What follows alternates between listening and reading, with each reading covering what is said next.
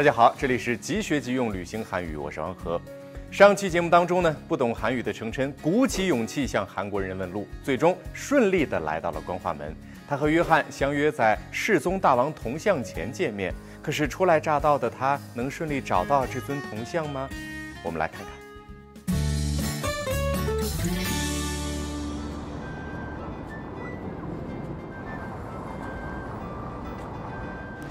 哇，这里应该就是光化门了吧？简直和韩剧里面看的一样一样哦。但是那个世宗大王的铜像在哪里呢？哦，那边有个旅客咨询中心，我得去问一下。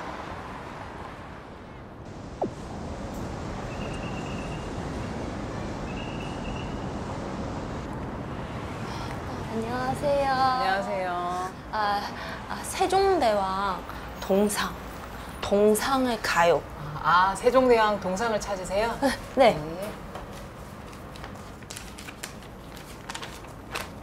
네, 여기서 이렇게 해서 이렇게 가면 바로 여기가 세종대왕 동상이에요. 음, 중국어, 중국어. 아, 아, 중국어 안내 책자가 필요하세요? 네, 중국어 안내 책자 있어요? 네.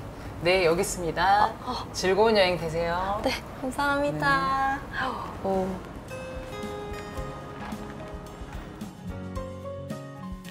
大家好，我是周老师。今天我们要学习的是如何用韩语向工作人员要中文旅游指南。程琛现在已经来到了光化门，在他面前就是最着名的景福宫。这附近不仅有韩国人 都很尊敬的李舜臣将军和世宗大王的铜像，还有世宗文化会馆、韩国历史博物馆等景点。程琛想要全面地了解一下周边的旅游景点，于是他决定先找找周围有没有咨询处，看看能不能要一份中文旅游指南。聪明的程琛很快就找到了咨询处，他走进去对工作人员说：“ 중국어안내책자가있어요。”在这句话中，“중국어”是中文的意思。안내책자是指南、手册的意思，있어요的意思是有吗？很简单吧？大家不要怕说的不好，一般咨询处都会有说中文的工作人员，大家只要大胆的问就可以了。那么现在我们来练习一下吧。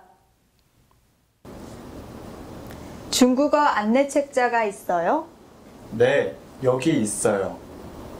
중국어 안내 지도가 있어요? 네, 여기 있어요. 중국어 가이드가 있어요? 네, 있어요. 对，非常好。今天我们学习了怎样用韩语要中文旅游指南。现在我们再来复习一下吧。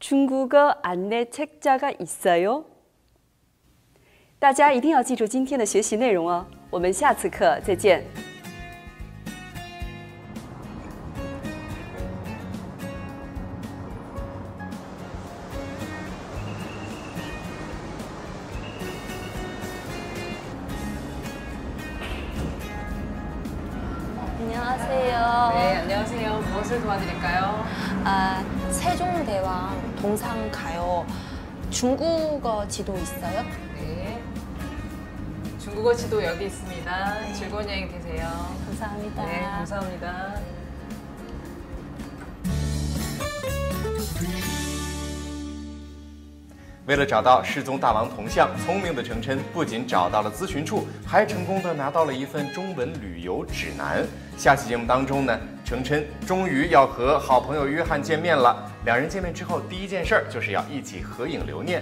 那程琛如何找别人帮他们拍照呢？明天同一时间不见不散。